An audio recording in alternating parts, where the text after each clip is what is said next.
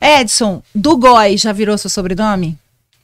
Cara, Todo mundo já te chama assim?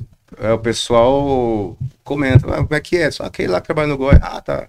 Edson do Goi. É, é o que eu falo pro pessoal, é, quando você trabalha num- numa unidade é, como a nossa, ou, ou como a, ou como a DEI, que, enfim, tem as delegacias, tem a DIG, tem a DISE, você acaba é, perdendo um pouco da sua personalidade, no, no- da sua individualidade, no sentido de que você deixa de ser o Luiz, por exemplo. Ah, qual o Luiz? Ah, o Luiz. Você hoje é o Luiz do QG, Sim. não é isso? Então eu sou o Edson do Goi, tem outros, ah, tem o, o fulano que é da DIG, tem o ciclano que é da Dizzy, por aí vai. Eu, eu não, assim, sinceramente, eu não posso dizer que eu fico chateado, mas é, é meio estranho, sabe? Você, Ganha uma marca, né? é, você ganha uma marquinha. Sim. Mas enfim, é o trabalho que a gente realiza hoje, que a administração quer que, que a gente realize. E a gente sabe desse, desse ônus também. Então, se, se eu aceitei, eu tenho que lidar da melhor forma possível com esse ônus. Há quanto tempo você tá no Goi? No GOI aqui da região, eu tô desde o início. É, o GOI aqui, acho que se iniciou em. Acho que quatro anos. Tem uns Quatro quatro anos. anos que o GOI era o antigo Garra, né? Aham. No Garra eu estava desde 2015. E aí o Garra acabou em meados de 2019, por aí. Uma, uma determinação à época do, do então seccional Dr. Zé Henrique. Ele era, o Garra fazia parte da seccional de São José dos Campos, ele era o seccional, então essa atribuição era dele. E atendendo uma, uma, uma ordem emanada do, da administração superior, que, que reconfigurou os grupos operacionais da Polícia Civil. Né? Hoje a gente tem o DOP lá em São Paulo, que é o Departamento de Operações Policiais Estratégicas. Lá, lá tá o SAT, lá tá o Garra. O Garra Caraca. continua É existindo. muita, é muita, E o GER também. É. é muita. estão, eles estão todos lá. Divisões, né? São Não posso, muitas posso falar assim, né? E, é no, e, no, e nos interiores, ou no interior, ah, nos DEINTERs, os garras foram extintos e passaram a ser GOI. Daí é, a área de atribuição nossa aumentou, a gente deixou de ser um grupo operacional de, da seccional e passamos para o departamento. Então hoje a gente atende toda a área do departamento. A gente estava até com- comentando de um, de um apoio que a gente foi dar em Cunha, teve outro em Cruzeiro, enfim, a gente vai para todo canto. Quando precisa, a gente vai para todo canto. Então, aí no GOI eu tô desde o início. Eu já estava no GAR, o pessoal que estava no GAR formou a primeira configuração do GOI naquela época. né? Eu estava lá.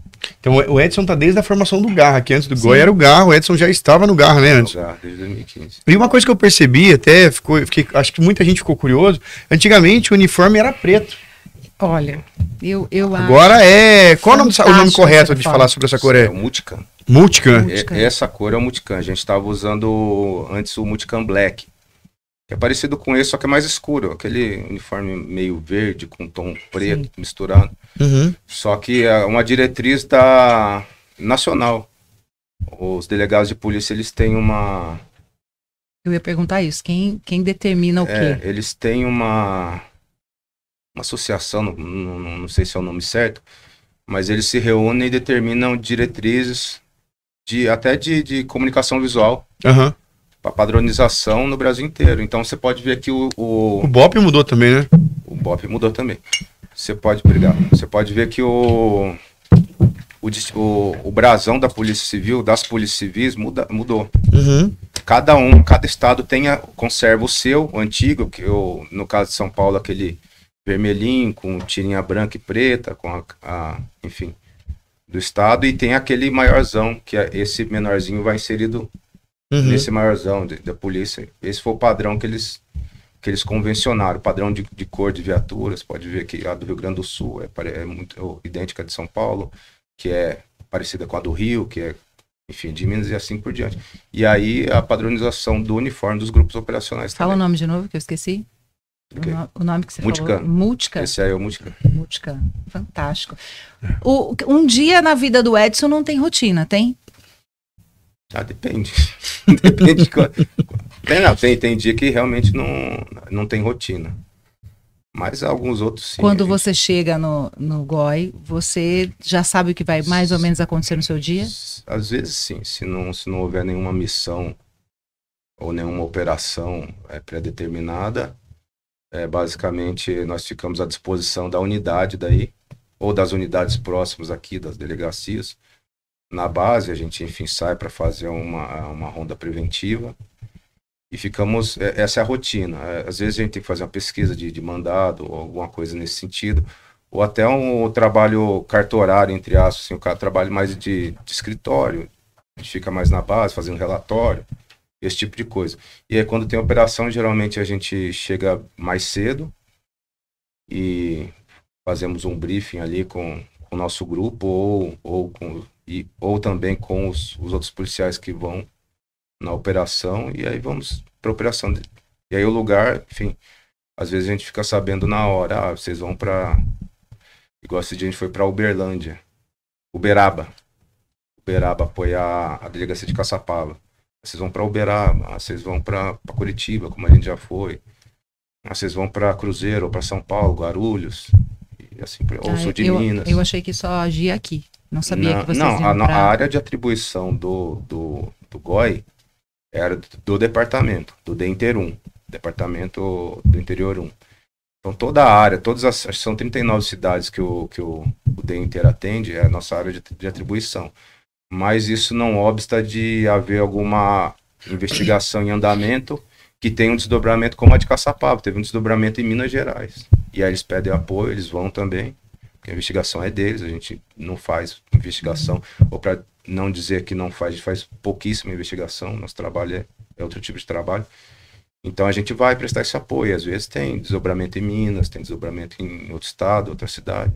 Então pode dizer que você não tem. Desculpa te interromper, Não, não, Chile. pode ir. Então quer dizer, Edson, que muitas vezes, principalmente esse tipo de trabalho, porque assim, é um trabalho que a gente percebe que muita gente que está prestando concurso tem uma admiração a mais por esse trabalho, né? Todo mundo quer entrar e, pô, a pessoa já quer ser operacional, já quer ir direto, pelo. Porque é bonito você ver nos filmes o glamour, o cara chega todo tático. O João mesmo aqui tem vários posters na casa dele, lá, espalhados, fotos, etc e tal.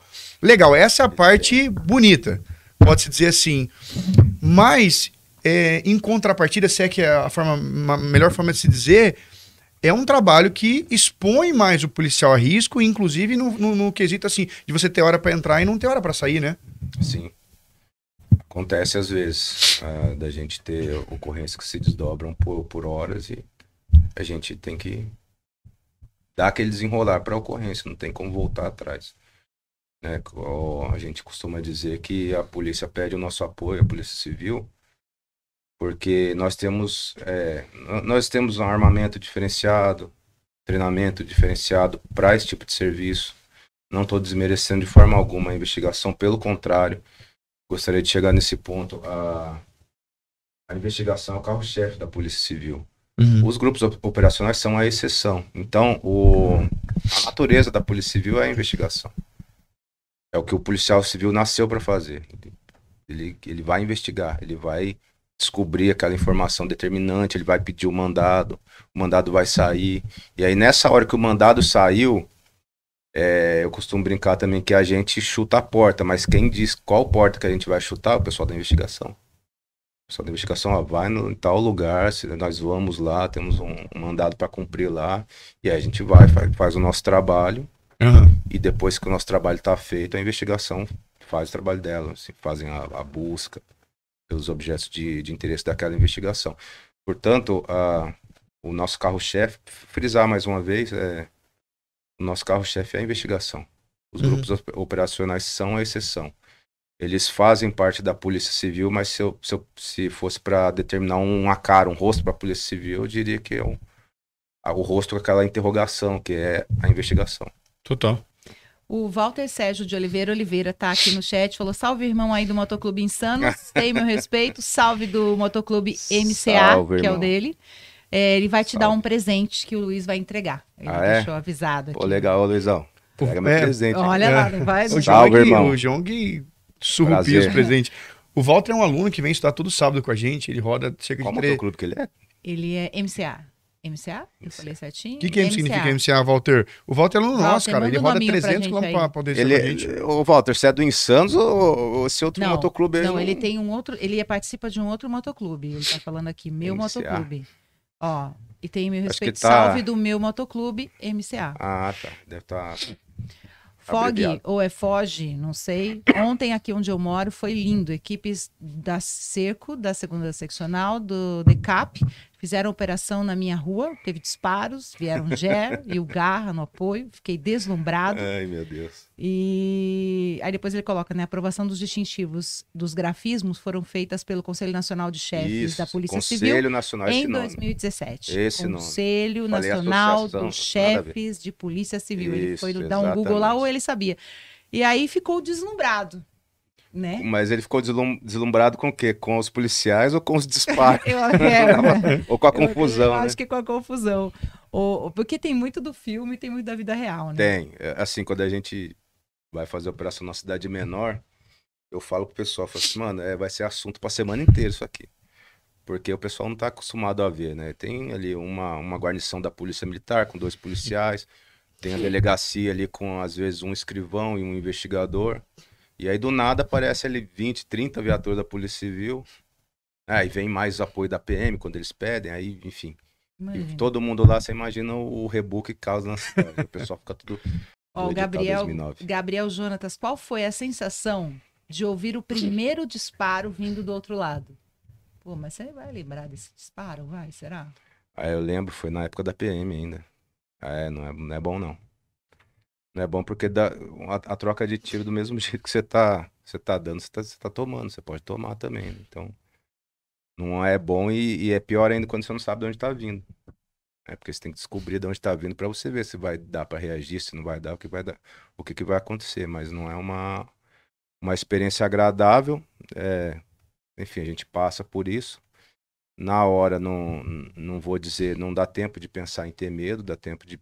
A única coisa que você pensa, pelo menos eu, da- das poucas vezes que aconteceu, é de resolver, é de, de, enfim, de me abrigar, de ficar coberto, me abrigar e resolver da melhor forma possível, né? Seja ela qual for, mas resolver a, a ocorrência. Não falar assim, ah, nossa, fiquei com medo. Não, pra mim não, não, não acontece dessa forma. Algumas outras pessoas, a gente sabe de casos que, que o famoso travar, né? A pessoa trava. Acontece, isso varia de pessoa para pessoa, né? No meu caso, a- o pensamento sempre foi esse, de resolver, né? De, de me, me abrigar, de, me, de ficar coberto e, e resolver isso daí da melhor forma. Porque eu, eu falo, é um trabalho tão diferenciado, Shirley, que hoje em dia, né, depois que ficou um pouco mais popular o, o CAC, esses, esses treinamentos assim, que ficaram mais abertos ao público, mas uma diferença que eu sempre faço questão de ressaltar, que por mais que as pessoas treinem, seja quem é que for, mas uma coisa é você dar tiro num alvo, um papel, que não vai reagir, né? Você tá ali num ambiente confinado, é, tudo sob controle, Sim. então eu falo, só realmente, na minha visão, minha, minha humilde visão, só realmente quem é um policial que trabalha na linha de frente, quem é operacional, sabe essa, essa realidade que o Edson tá falando, né? É, do fato de você tá ali, primeiro, o alvo tá se movendo, o alvo tá atirando contra você. Ou talvez o você- alvo esteja escondido. como você É, então assim, é só quem vive na pele mesmo, né? Por isso que às vezes você vê muito especialista de sofá querendo dar uma opinião, assim, que você fala, cara, fica quieto que é melhor. Porque só quem tá ali, que nem o Edson falou, pô, ele tá ali, ele tem família, ele tem os, os anseios dele, etc e tal, ele precisa voltar para casa. E, e é, é uma situação que acho que, né, eu posso dizer humildemente que nunca cheguei a enfrentar, né, nos, nos meus poucos anos aí, e mas que o Edson tem experiência de sobra para falar, né, sobre é, isso aí. É, é, assim, o bandido, ele não tem compromisso com o tiro que ele, que ele dá, que ele efetua. né? O policial, pelo contrário, o policial tem todo compromisso. Então, o bandido, se ele, se ele quiser acertar um policial e acertar alguém que não tem nada a ver, pra ele tanto faz. Se ele for pego, ele vai responder, mas meu, ele já tá no crime mesmo. Policial não, o policial tem que ter certeza do que ele tá fazendo e onde ele tá atirando. Entendeu? Essa, é a- essa é a- parece uma diferença pequena, mas ela faz, ela faz toda a diferença, na verdade. É muito grande. Uma disparidade muito grande. Então, por vezes, você deixa de efetuar um disparo porque você não tem certeza. Primeiro, se você vai atingir o alvo, se você vai atingir aquele alvo, dependendo do armamento que você estiver usando, se a sua munição vai parar naquele alvo, se ela vai transfixar aquele alvo, vai acertar alguém. Tudo isso é, a gente leva aí 10 minutos falando, mas passa em, em fração de segundo pela sua cabeça para você ter algum tipo de reação. E você tem a preocupação com a sua vida, com a vida dos seus colegas também, que estão com você. É um time, né? Total.